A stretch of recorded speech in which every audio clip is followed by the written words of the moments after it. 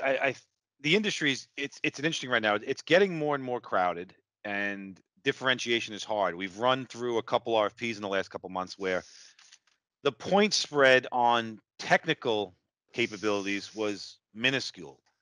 But then conversely, the point spread on the evaluations for usability, um, agent experience was massively swayed based on demos. So it's it's very interesting how I think when I first looked at you guys, where you were looking to make a differentiation on that agent experience. To me, mm-hmm. that's a huge thing.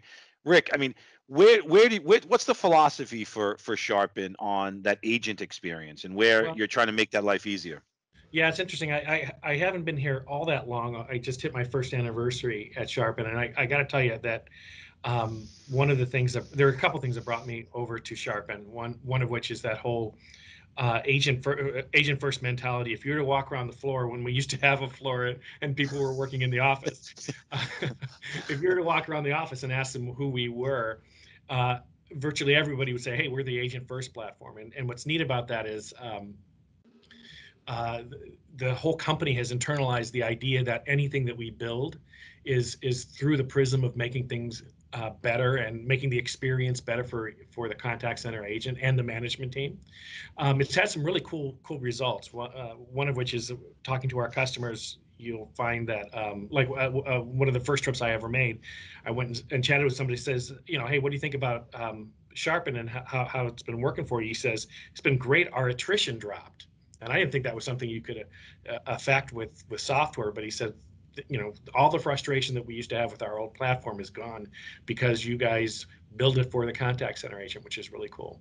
And then the sure. second thing that i really liked about sharpen was was whole data infrastructure that we have. We we have the ability to to surface information and reports and data in a much much easier way than than all the big guys. So it's it's it's really kind of cool.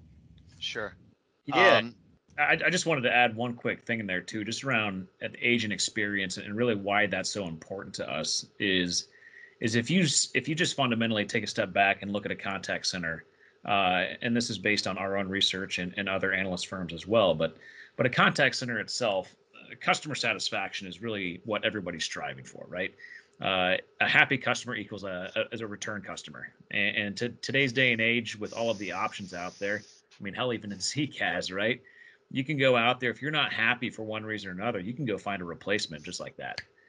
So what we have found is that customer satisfaction has a direct correlation to agent satisfaction wherein if you have a happy agent you have a happy customer as a byproduct of that and vice versa. If you have an agent who's frustrated by the tools that they're working with they're frustrated because they can't do their job effectively they don't feel empowered all of those little basic things then as a byproduct of that you've got unhappy customers which is ultimately what leads to people leaving. And, and, that's one of the primary things that contact centers are trying to do is increased customer experience customer satisfaction